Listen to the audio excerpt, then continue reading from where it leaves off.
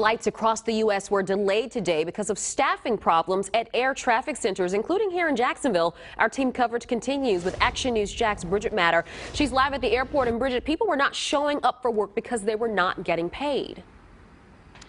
And today, people right here in Jacksonville, they experienced delays. People traveling to and from Jacksonville, some were late to their destinations. She was supposed to land uh, almost an hour and 10 minutes ago. Marty Mayer is waiting for her best friend, Barbara Rogers, of over 30 years, to touch down in Jacksonville. Each year, these long distance friends spend a week catching up. But today, Rogers is running late after a staffing shortage at Washington, D.C. and Jacksonville's FAA facilities. The FAA said in a statement they're experiencing an increase in sick leave at the two facilities.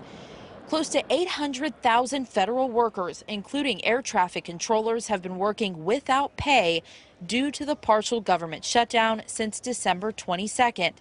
Today, they miss their second paycheck.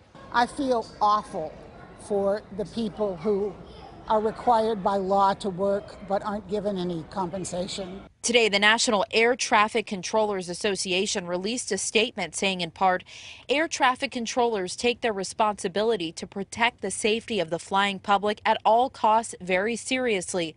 Nothing else matters except safety. It stopped short of the gate. Once Rogers arrived, she said pilots updated passengers about the ground stop at LaGuardia. And The pilot told us there were 28 planes in front of us. For Mayer and Rogers, the delay was an inconvenience, but they're hopeful for a long-term resolution in Washington.